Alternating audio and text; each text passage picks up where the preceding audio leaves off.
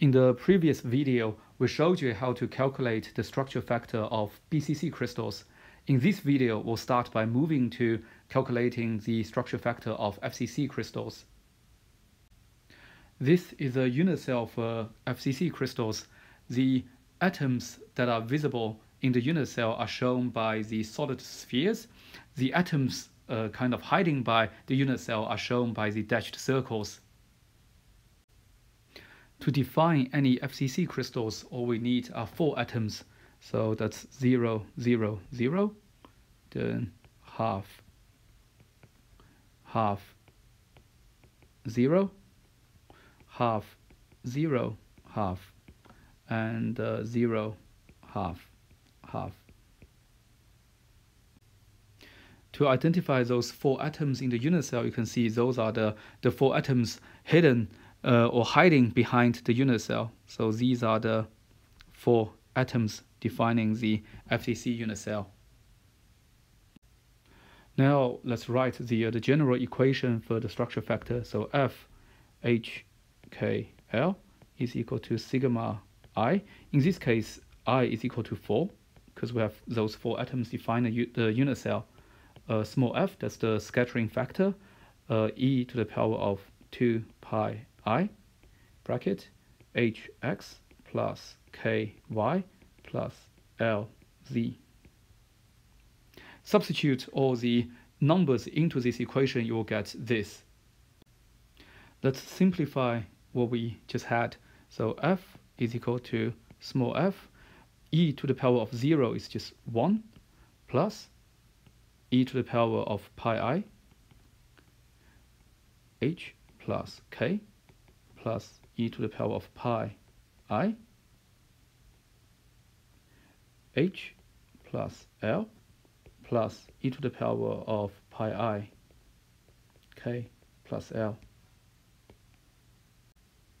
If you do some simple calculations, you will find that if h, k, and l, they are mixed, odd or even,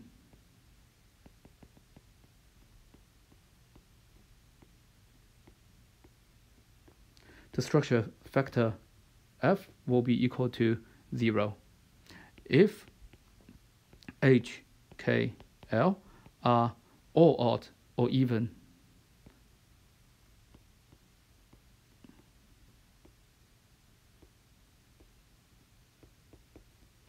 the structure factor will equal to 4f.